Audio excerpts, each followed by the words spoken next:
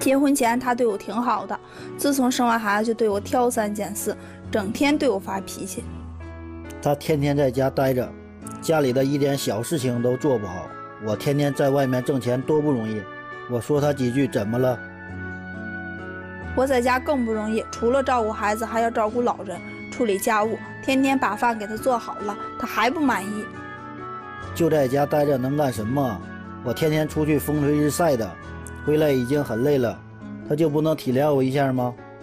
我想每天在家待着嘛，要不是因为孩子太小，我早出去工作了。现在每天还要在家受他的气，如果不是有孩子，我早就跟他散了。掌声有请这一对，有请。男嘉宾刘先生，二十八岁，来自河北，工人。女嘉宾张女士，二十八岁，来自河北无业。来，有请有请两位，有请。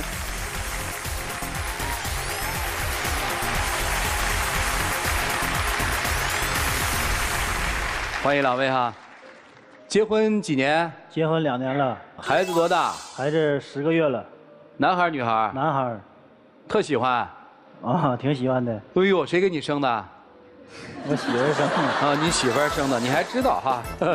呃，看资料上说是通过媒人介绍认识的，是吧？对。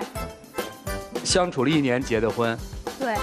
婚前和婚后没什么变化，就是有孩子和没孩子之后变化很大，是吧？对对。啊，今天谁要来啊？我。想干啥？嗯，就是不想跟他过了，他的变化太大了。哦，都不想跟他过了。对。好嘛，他有哪些变化？你慢慢说说吧。就是没结婚之前吧，对我还行。还行。自打生完孩子之后吧，就是总是挑三拣四，就是嫌我不这个不那个。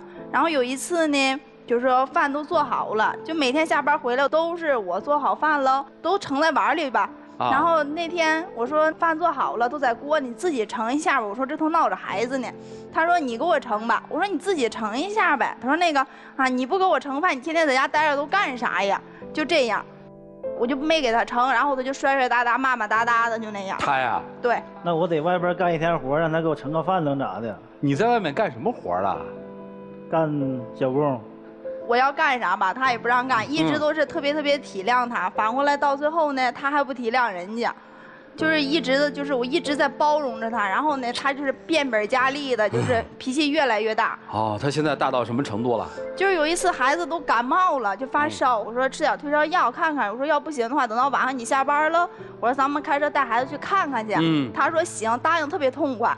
等到晚上五点多钟，孩子又发烧了，发烧了我就给他打电话，我说你在哪儿呢？他说我这就回去了。我说那行，我说那你回来吧。我说回来咱带孩子上医院去验个血，到底这是病毒性感染还是什么感染？嗯，他说行，就这样。等到回来了呢，看我就是在闹孩子，就是我们前厨上有一个就是，就像一个钳子似的那样东西，就把我就给砸过来，说啊你天天不给孩子吃药，啥啥都等着我回来呀，就这样。然后就把花盆就给我凿碎了。后来我也没吱声，我说你到底是去是不去？他说那走啊，就骂骂咧咧的，然后就带孩子就去了，早上让你。